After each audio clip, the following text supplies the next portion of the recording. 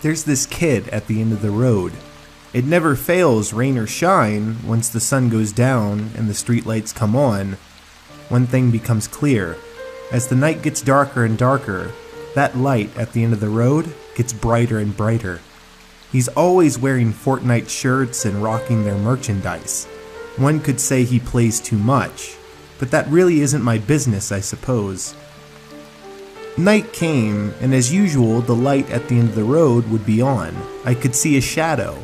It looked like the kid sitting down and had a headset on, no doubt probably playing Fortnite. I saw the light in the window strobe as if he was in some sort of gunfight. He lost, I'm sure he lost, because all I could hear was him raging from where I was standing outside. He's never done that before, I guess it wasn't welcomed or may have happened more to the houses closer to this kid's house because about an hour later, I see a cop car pull up. The parents answer the door.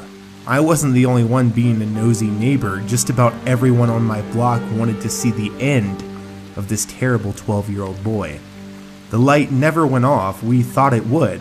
We thought it was all over, but when the cop left the house only 20 minutes later after getting there, we knew that wasn't the case anymore.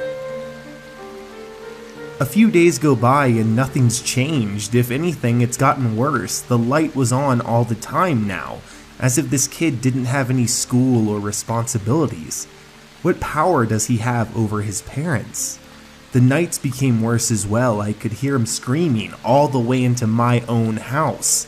Before, it was only if you were outside and if it was quiet out.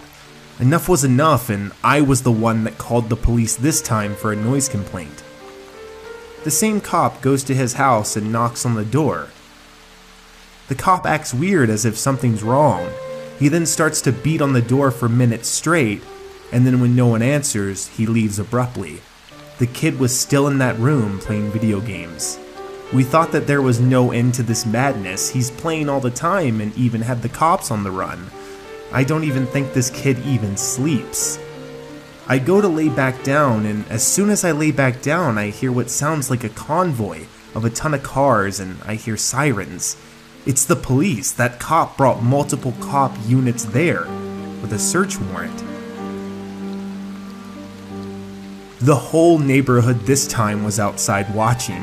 We see the kid being brought out in handcuffs, fighting to be let go, demanding to go back into that room to play Fortnite. Then the grim secret came out. They wheeled out two bodies. It was his parents. We were all shocked and appalled. That's why it got so out of hand. He wanted to play the game so badly he would kill for it, and he did.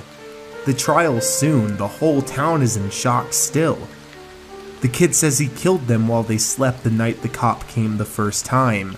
He thought by killing his parents it would make everything go away and he could do whatever he wanted. But he was wrong. A new family moved in just recently, and I see that light come on from time to time at the end of the road. But at least I know there isn't a monster living there anymore. Or did something even worse move in?